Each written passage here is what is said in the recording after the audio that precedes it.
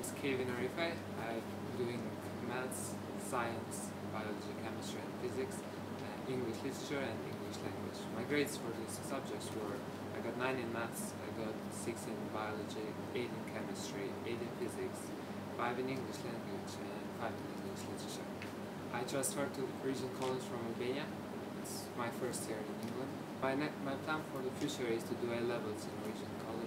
To achieve my goals, the teachers were really helpful. We stayed after lessons, we did extra homeworks, extra work to achieve my goals. I really did enjoy my time here. It was a really good time I spent